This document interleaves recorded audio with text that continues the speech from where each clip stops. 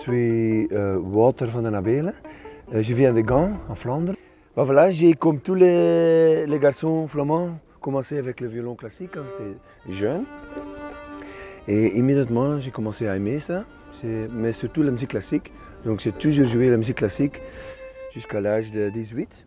Après, j'ai parti pour euh, l'université. Peut-être je peux te raconter une histoire. Quand je voulais commencer la musique du folk, euh, comme j'avais une éducation classique, je cherchais tous des partitions.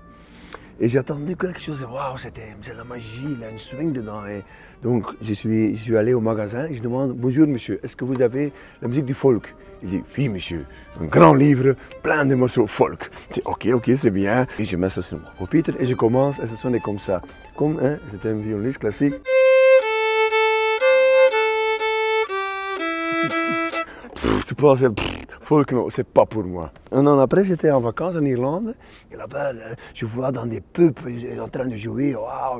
Ah, c'est le même, le, même son que je me souviens.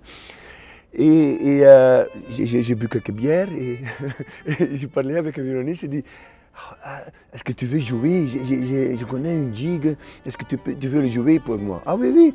Je dis Pas de problème. Et ça sonne comme ça.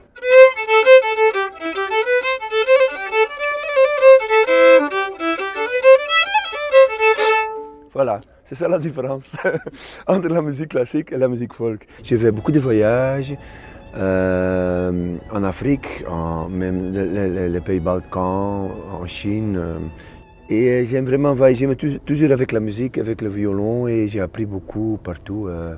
et c'est avec mes voyages en Afrique que j'ai rencontré Bao et, et Mola, comme ça aussi. C'était une des raisons où on joue ensemble avec le groupe Tamala.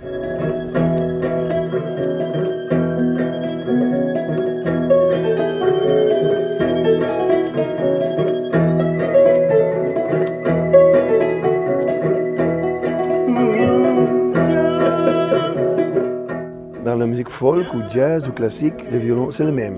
Donc voilà, tout le monde connaît le violon, la quatre cordes et un archer. et on touche les cordes comme ça, il y a un son.